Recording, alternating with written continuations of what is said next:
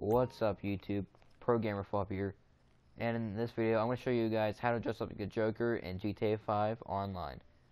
Forget the demonize uh, either for something else that I'm going to be doing. So first you want to come down to one of these Suburbans, uh, one of the Suburban clothes stores, and you want to come over here to Tops. You want to go to Suit Jackets and get the purple jacket. Then you want to scroll down here to suit vests and get the olive suit vest. Then you want to come over here to pants. You want to go to suit pants and get the purple baggy. I'm showing here. Alright. Then you want to come over here to shoes. Go to smart shoes and get the get the brown wingtips.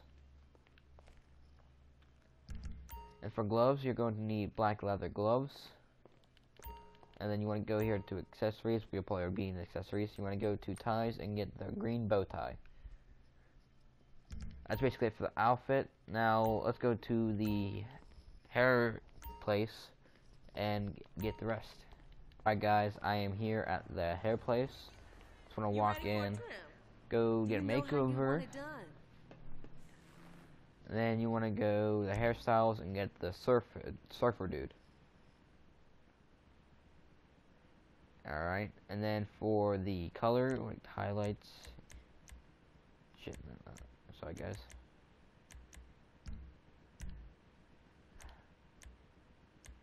I want to get.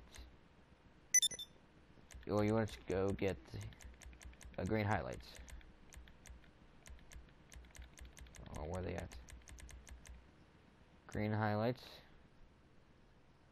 Kind of greenish. And you want to get like 43 out of 48 for the regular hair color and then 40 out of 48 for the highlights.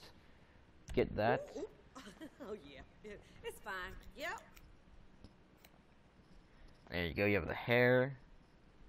Now all you want to do is go to face paints and go down to till you see the Joker one, which is right here, the Sorrow Demon. Click it. And there you go. You are now the Joker in GTA 5 Online. So you go around, you do Come some sketch with this, whatever. Now, I'm kind of before I end this video, I probably touch that another video, but I'm kind of struggling on video ideas. Like I want to, you know, keep it to um, the games if possible. But if I don't, I'll do something else.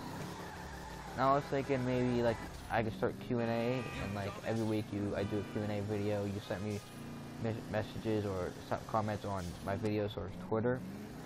Uh, I'll put my uh, probably in the description if you want to go follow me on there. And then like I, I answer them because I'm kind of struggling on video ideas. So if you want me to do that or something else, just put in the comments below.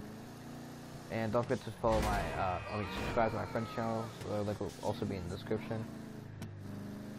So until next time, see you guys later, peace out.